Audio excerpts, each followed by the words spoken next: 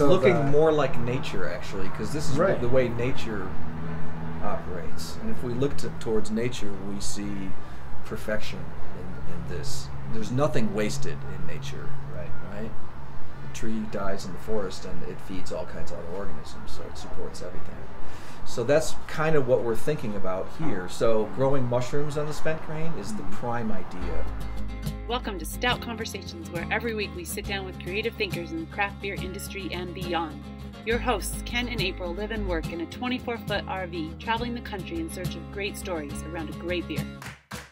This week we talk with Jim Lueders, patriarch and head brewer at Wildwood Brewing in Stevensville, Montana, just south of Missoula. From van lifer to brewmaster, Jim has designed a sustainable brewery that is unique and worthy of a stop on any tour of Montana. His integrated systems and organic brews offer consumers an experience that is rarely seen in the brewing industry. The beer, the brewery, the tap room, the architecture are truly a work of art. We're in um, Stevi, right? Yeah, that's the, the, the short. That's right. You learn, you picked that up. Yeah, so it's Stevensville, but we call Stevi here. The locals will call it Stevi for short.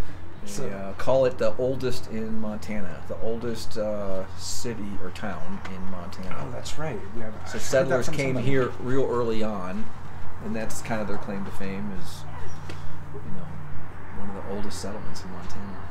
They say the oldest town. And you're one of the longest brewing brewers in Montana. yeah, I guess that just, the old that term. just snuck, yeah, that snuck old. up on me. right. Hopefully, I don't look look the part too much, but you know, I've been doing it a while commercially for well since '87. So, Right, we're at Wildwood right now um, in Stevi. and I started uh, like you guys did as a home brewer in my early college days, the early '80s. I was a home brewer. Right, and a lot of guys did do that and still do Mhm. and make that move up to pro, but you you kind of took it a little bit different route and took it a little further because you were a pro brewer for a while, but then I mean, you went all in. Yeah, Like, so I, I was I was fortunate too because when I went to Germany, when I went to Doemens Academy to study brewing studies, uh, it was they offered the brewer the master brewers program condensed into one year for an international group with no vacations. So the. German students would go two years, Okay. and uh, you get your master's degree if you graduate from, from the two-year program. But there's huge vacation times, you know, summer, Right. spring, all just Which like is a kind of pretty like traditional. European thing too. Yeah, traditional European. And the first year is like getting all the, the class up to the same speed in mathematics and all these other things because they come from all over the country and even out of the country. So they, I was lucky that they had this program, and I just happened to be there for it for that year. They didn't do it the next year, and they've never done it since. Oh wow. you So I was really lucky because I got the master's program in a year in the English language, and there was an international group of students there. Like in my class were the head of the Coors Brewery, head of the brew house, head of the cellar, and head of packaging were all in my class. Oh wow. and they worked Okay. directly under John Coors. These are the three guys right under John Coors. Okay. They were in my class, and then there was brewers from all over the world. The head brewers from breweries all over the world. So they would send their key person to get To get up to speed in And you just the latest did it, technology. You did it on your own. I mean, Yeah, you actually fact, had to leave I- your job. I think I yeah mm-hmm. I left my that, so- job and I was I think the only student paying his own way. so I really wanted an education because I could imagine myself flicking Deutschmarks out like every minute. It was So you- expensive to do that. You quit your job and you went to do a year-long brewing program. How do you pay for that? Yeah, you, Without a job. I know, and I wasn't a rich person at all. Because I heard there's a story behind how you paid for it. Well, I restored a, a 1952 Chevy pickup truck, which here in Montana you could get. You'd find them on every street corner almost, and Yeah, riding, that's what riding somebody in has out in their farm, back right? Yeah, about out in the backyard, and you're like, so "What I actually? I actually towed this carcass home, Uh-huh. and it came with boxes of parts, engines and pieces and parts. Okay. And it took me two years, and I restored the thing. It looked really pretty. I painted it myself and uh, made a nice truck out of it. I shipped it to Germany oh wow. and I drove it around Munich for like eight months, and that was I your sold sales it. pitch was drive it around and make and it everybody still had salivate. Montana license plates on it. I had an international driver's Oh, really? license, and I drove it around Munich, and then I finally sold it. And the guy that bought it was a young fellow, and he gave me fifteen thousand Deutschmarks, which wasn't really enough for tuition. Okay. It was a lot of money though. That's in, in, and it was like eleven thousand U.S. dollars at the Okay. time. And this was. And this was a three a three hundred dollar pickup that I bought in Montana. Oh wow. So, so a good return on your sweat equity. So the guy gave me cash, and I walked into the director's office the next day, and I dumped the cash onto his table. I walked into the, the director of the school's office, and I dumped the cash onto his table. And I asked him, "Is this enough to pay for tuition?" Because he knew I hadn't paid yet all of it. You know, I paid a down payment to get enrolled, and he didn't even count it. He says, "Yeah, they'll do." and all I cared about was getting the piece of paper. So we have no idea. And I, and I that money imagine if I walked out the door, I imagine he just opened the desk door and shoveled it in. I'm sure that's what he did. like how did how did you come to Wildwood here in in Stevi? Um, Because I know you you know you worked a long way, but this is a big ambitious project. well, I didn't have my job, and I went to Portland and set up the brew house that you saw a moment ago right. uh, in '92, and then I moved back to Montana in '94 uh, or in '93, I guess it was, and uh, started getting calls from people that want to set up help setting up a brewery. So I started traveling and helping people set up breweries. So I got thrown into consulting just on a uh, you know by chance. Right. and uh, I'd get a job, and a little time would go by, and then I'd get another job, and more time, which was a cool lifestyle for a young bachelor. Yeah. You know, because I made I made breweries. good money. You know, hourly rate was great. I made it with so much time off to go play and have fun because I like. awesome. I told mentioned I like to ski. I like to go in the backcountry. I used to fly hang gliders and I'd go flying all the time. I'd take my rig with my glider and all my toys and go travel out to a brewery startup job, and I'd camp Oh wow. and set up a brewery, and then go to the next one. So that was a cool life. So you would go. Did you did you live in an RV by chance?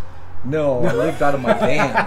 I lived Hey, out of my even van. better. I was van life. Oh yeah. So traveling around. That's that's a pretty cool way to go. Like when you're a young Yeah. guy, like to make your way in the world. I mean, It was fun. Well, here's here's opening what it breweries, was. getting paid well for it. living out of your van, oh, and then and, going norm, and a skiing young. I was a young man, so it's Yeah. usually reserved for older guys that are ha- almost retired or semi-retired that have Yeah. been working the trenches in their industry for decades. Usually, the consultant Right. is that character, I would say. So, and I was learning a lot, and I was like a very open mind. I'm still this. This is my philosophy: is very open mind. There's so much to learn, and no one person can know it all. So Oh, you gosh, have to. no. There's there's you About anything. It's that's what's cool about the profession. Actually, it's endless. You can never know it all Oh, because yeah. it's it blends chemistry and microbiology and physics. They all come together, and there's very few professions. And art. and then and it's an an art art form. to it It's really only a science when you have to replicate the same thing day in and day out. Otherwise, it is an art form. I mean, that's why it's called craft beer. You're Yeah. kind of crafting it. Right, and crafting I'm with you. You're always a 100%. student. That's right. You're think it's really cool that you're always a student. So when I went to each job, I would work with specialists in, you know, like the the steam fitters, the refrigeration specialists, the plumbers, electricians, all those guys. And I would pick their brains and learn from them because they had been working for decades in their field, and I didn't have that knowledge. And I would take notes when I got back to my my van. I'd take notes and write it all down, and I was armed with that information for the next gig. Hmm. So it was like on the job training, getting consultants' fees, and having a lot of free time to have was fun. there always a goal of eventually opening your own brewery then down the road. that was in the was background. It was but I, kinda I- just simmering in the back there, background because I didn't a- have resources to do anything like that. So things changed for me. I ended up buying this system that you see. right? So Saxer Brewing went out of, folded the company uh, right as the first bubble burst was happening. So early 2000s. Okay, so that transition. Yeah, I don't know if you '90s. Yeah, there was then the, it the blew first bubble. It was and like huge growth in the industry, and then it was still growing, but it panned off for a little bit there. There was a period, and there was a lot of closures, and it was a really bad time to sell used brewing equipment. And here he had used a brewing equipment. but a good time to buy it. Yeah, it was a good time to buy it. So Especially when I you know the equipment. I knew the equipment better than anybody, And right? Because I set really it up Beautiful artistic equipment and too. I, I offered my. I, I knew it was available because I saw it on the market. I was like, oh my god, they're selling that stuff, and I wanted it. Yeah. So I called my old employer and, and I said, I'll give you fifty grand for it. And so in two thousand, in May of two thousand and two, I bought the system. I raced out to Portland and I loaded three flatbed trailers myself. I rented a forklift truck, took it out Oh of my the warehouse, and loaded the trucks. And I raced the trucks and beat them back to Missoula, and I didn't even have a place to put them yet. Wow. So it, it had it happened so fast, and I didn't know that I didn't even have the fifty grand yet. so I had to come up with that real fast. Yeah. What, what car did you build to buy that? Yeah, I restored Yeah. a, a 1969 BMW 2002. Wait, so you actually And have this the was the maiden voyage for it. I Nice. raced it out the pour the first miles on this car. Nice. Yeah. nice. I took every nut and bolt off that car and, and painted it myself. Wow. So that was fun. So there, there I had it, you know, and I had this, and I found somebody to squat, you know, to dump the equipment off in their backyard, and for free, just stash it in for somebody's free, yard. right? Although it, no yards in. Montana are big.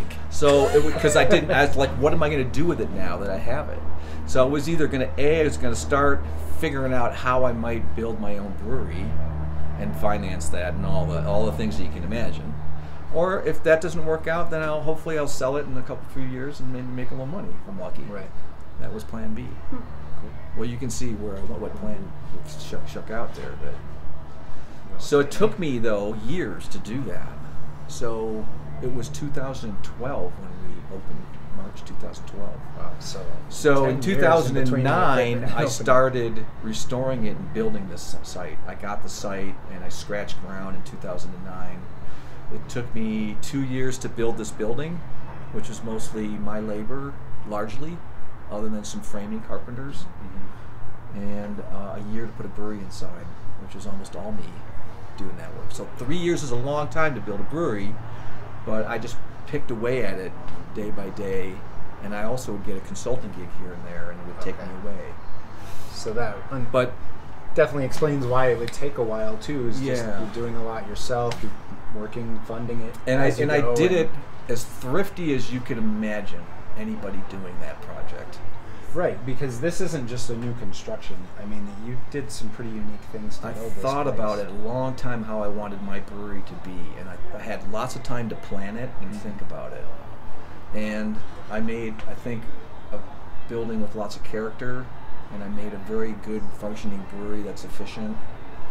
And uh, I did it on a shoestring budget. It took me longer. You can do them in a hurry, but they cost more money, and you may not get the results that you that you like or want.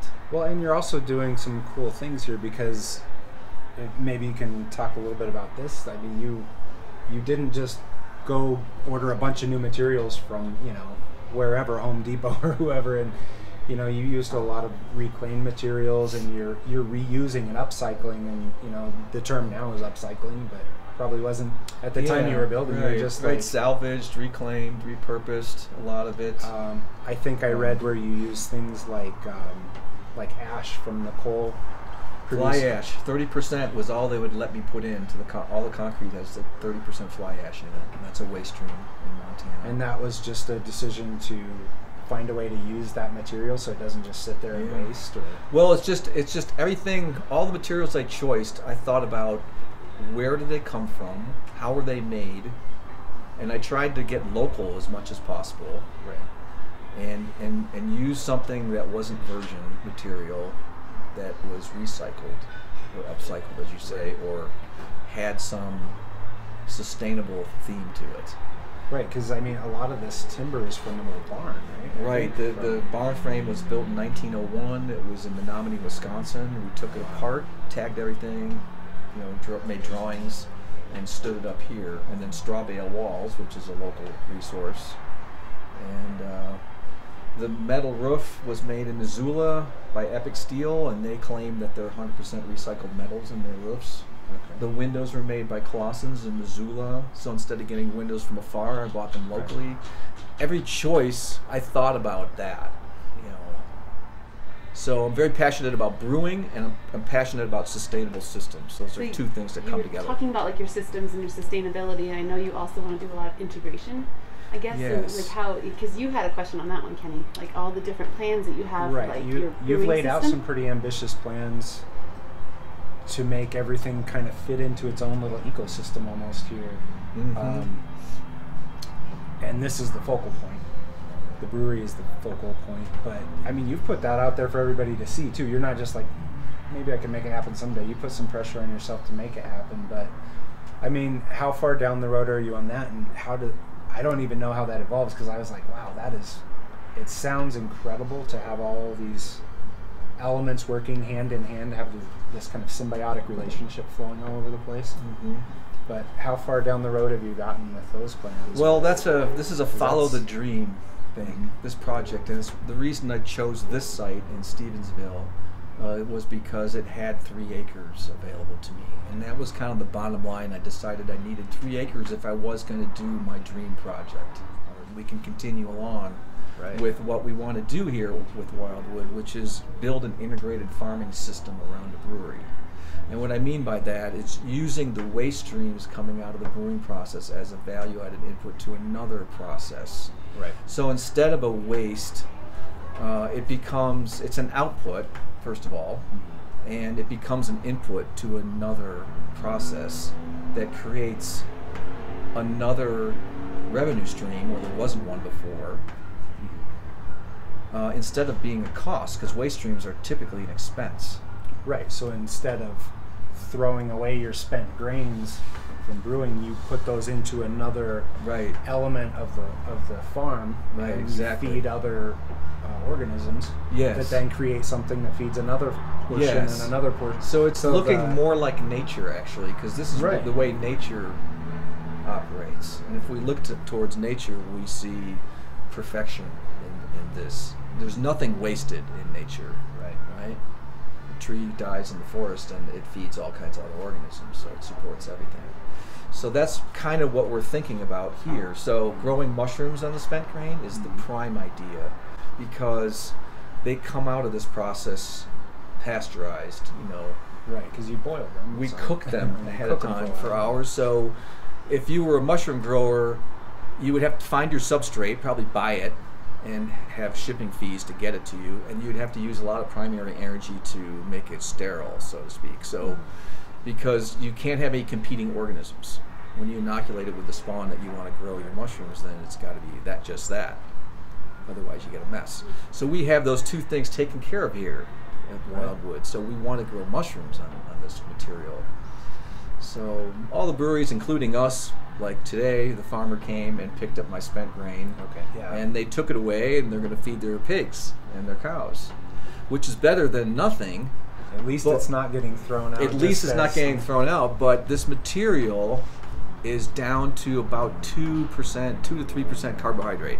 Because I measure it, by the way. I take all the goodies out to make my beer. Mm-hmm. And a trace of protein, maybe 1, 1 to 2% in protein, is left in that material. The rest is cellulose and lignin bound together, which the animals do not break apart real easily. Okay. So even the cows and the pigs don't have the stomachs to create a lot of energy for themselves. So even that's not a very No, it's not. It's really a poor food for these kind of a animals. It, it's well, it creates gas in their bellies, and which which is a large greenhouse gas contributor, Okay. and all the rest. So it's just not ideal. But what organism does nature provide that breaks cellulose and lignin all day long and loves it?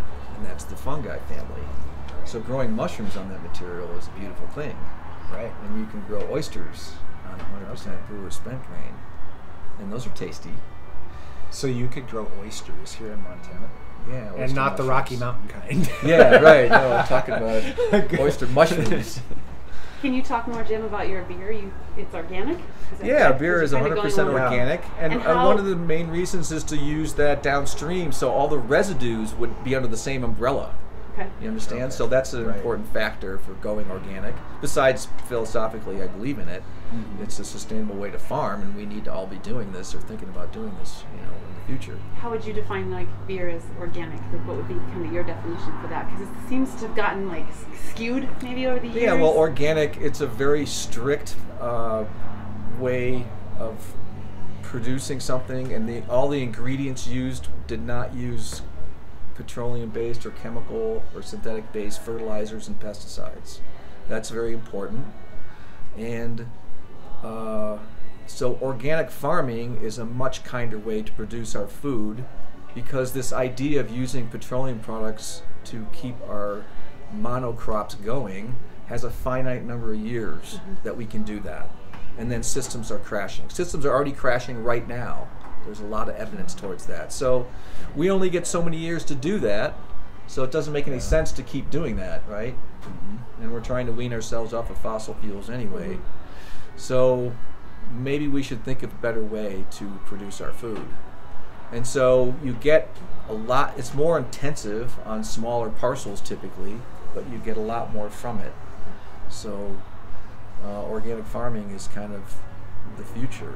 Do you see like beer coming back around to malt styles a little bit more lately, or because like it, for a while now, hops have been the sexy rock star, Yeah, you know, jumping around, Yeah, and everybody's true. like, oh, "What's the hop? What's the, you know, what's the latest IPA Yeah, can get?" and And, that's and interesting, even now, some of the IPAs are kind of getting a little crazy. But Yeah. No, do you feel like there's any kind of a, a pushing back around, or Um, yeah, there will be, I think. Um, but I think here, my opinion on this is, uh, you can add a fair amount of hops to a beer, but it needs to be balanced with something. You know, I think the idea of just putting, uh, you know, 60, 70 or more BUs in a beer is kind of ridiculous. A little bit, you know. I mean, if if it's not balanced, it's like I think of it this way: if you're a chef and you're going to produce the the most world class dish for somebody, you put just the right amount of herbs and garlic and things in there? And you can't overpower it with any one of those things, or it's just not going to be a good dish. Right. So it has to be balanced. So if you're going to put a lot of hops in, like some beer styles, even classic styles do have, like the Pilsner, you know, the Continental Pilsner, or the IPA that came out of Great Britain. Yeah. That was But it needs to be balanced with some malt. And when it when it does that, then it's beau- a beautiful thing. Because what you want the drinker to do is to drink the glass readily, easily, and get to the last drop and put their glass down and think to themselves, wow, that was so good, I have to have another one. there you go. And if you don't do that, if the brewer does, if they're fighting through a glass and there's this Yeah. lingering aftertaste for a long time, I say there's probably a mistake with that beer. Okay. Speaking of good way to put that. good beer that you're drinking, what are you drinking? Um, this is organic ambitious lager. Just a lager. Yeah, What's well, it's a response to Munich. lager? It's a my old it's my version of a Munich style Helles, technically. So Which, in a Munich Helles, you'd say like kind of that sweeter. It's got that kind of sweetness to it. yeah, it's got it's balanced with malt and hops, and it's not you know it's right in there. Yeah, this is a very well balanced beer. I mean, That's the intention anyway. And and brewers do their best to strive towards that. And a world class beer is one that's perfectly in balance and demands another one when you finish it. D- just demands another one. It's like it has it leaves you with question marks over your head like, wow, what was that? You know, I had the opportunity to go to the Pilsner Urquell brewery in Pilsen. And met brewers there, and, and yeah, it's like, and when you drink it fresh at the brewery, it's one of those world class beers mm-hmm. and it's got 40 BUs or 38, I think. It's like up there, but it has a good amount of malt sweetness left. And you get this powerful hop at the beginning, but it totally disappears and vanishes, and it's gone when you finish your sip. The malt just makes your palate water enough to ta tear it right off, and you're like, "Wow, what the hell was that? Give me another one. You have to have another one." It's hard to stop drinking it. It's so good. It's that good. Uh, and that's the, my definition of a world class beer, one that gives you that experience. The rest of them are just trying, trying to get there. how much of the beer world out there would you say is just trying? There's a few. I mean, this uh, the industry's still young, I would say, in the United States, and it's still growing up. Maybe we're teenagers. We're unruly Yeah. teenagers, which Yeah, is that's teenagers. good way to put it teenagers right like now. to experiment. And that's a lot of that's going on right And now. you're always wondering how you survive your teenage years. Yeah, and It's some, really good and when I like there that. are You it's there kinda- are a few kinda like that. teenagers out there that are not going to sur- that aren't surviving this. Unfortunately, it's less about what's in the can of the bottle than what's, you know, how you market it.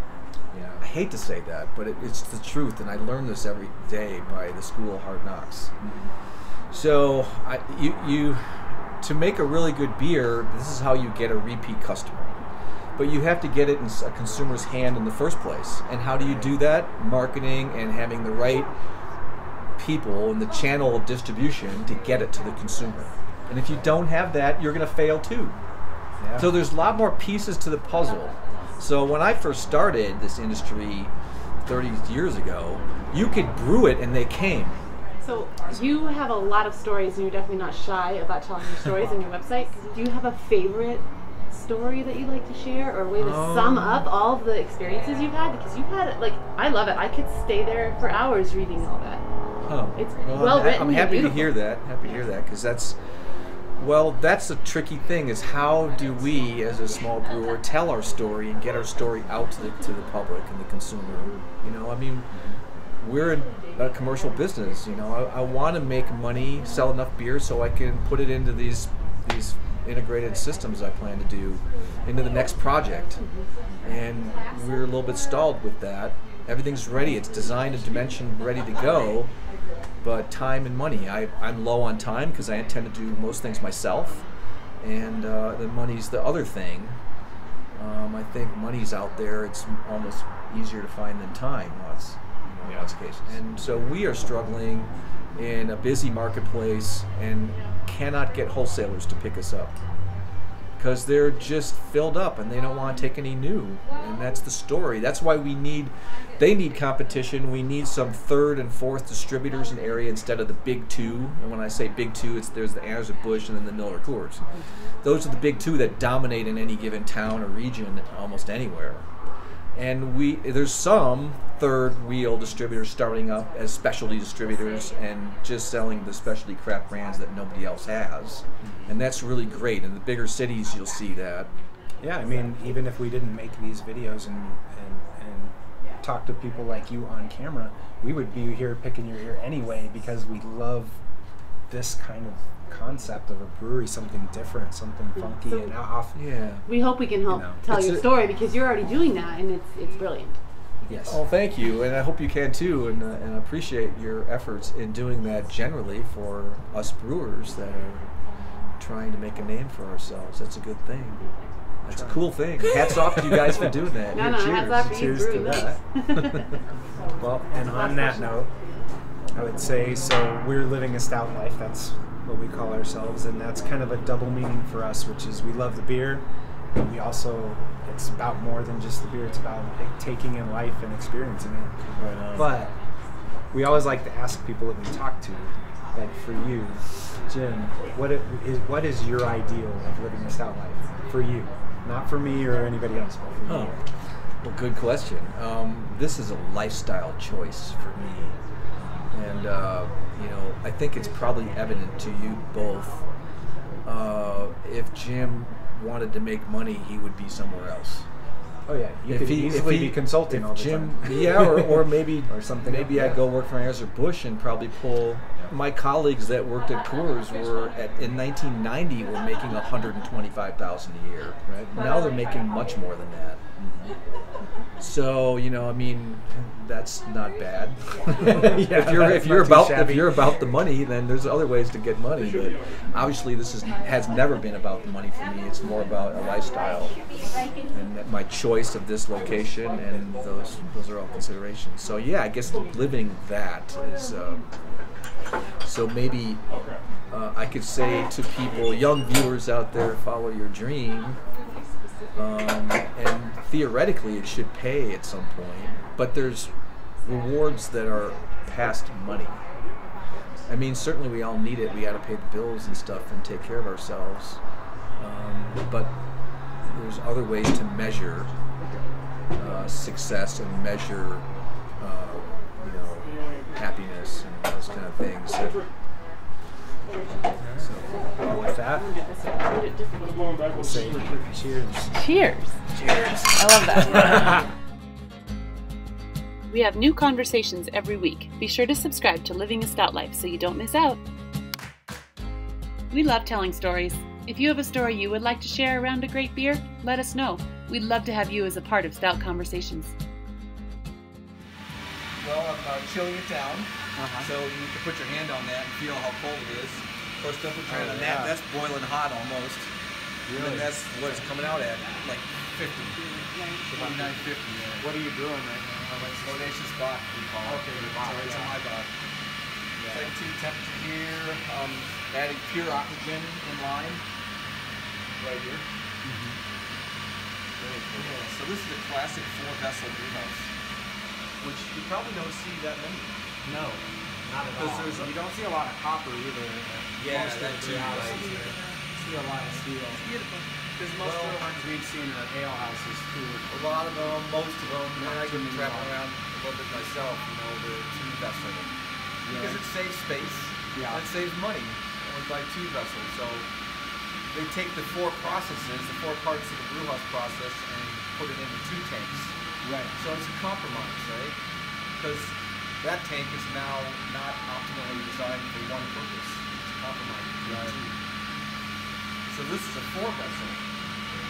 And uh, this system is, I built it myself and plumbed it, and uh, it's so flexible. You can do anything you can imagine. Any beer you want to do? I can do true decoctions, many, you know, brew. I did one day as a matter of fact. Really? Okay. So yeah, not too many brewers are doing that at all. Even brewing lagers, I don't think a lot of people are doing the decoction method anymore. Right. Right. Yeah, it, it's it adds a special element, and I do it on a few different microns, not all of them, but a few of them. What do you think you get from using Well, that? here's the analogy I like The to use.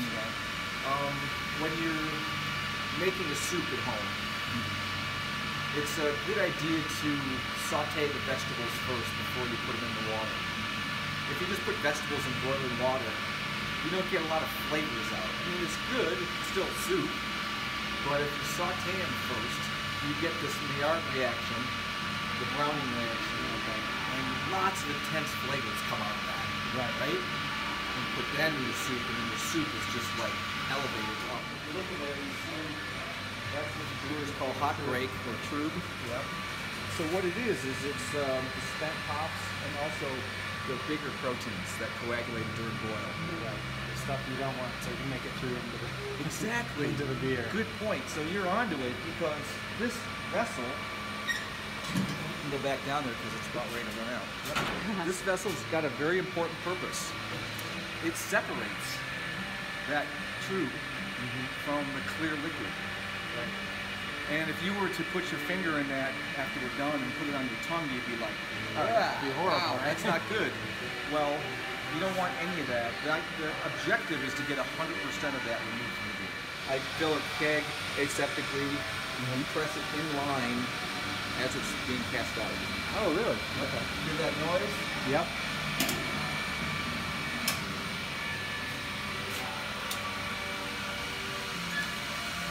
Now I'm bringing water. My oxygen. You can follow over here. Going into this tank. Okay. And now I'm waiting for the water to come. You can see it's still beer, or wort, actually. Right. Here it comes.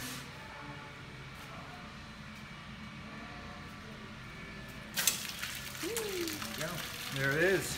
Now you're Tank, tank is full. Another brewing tank. Nice.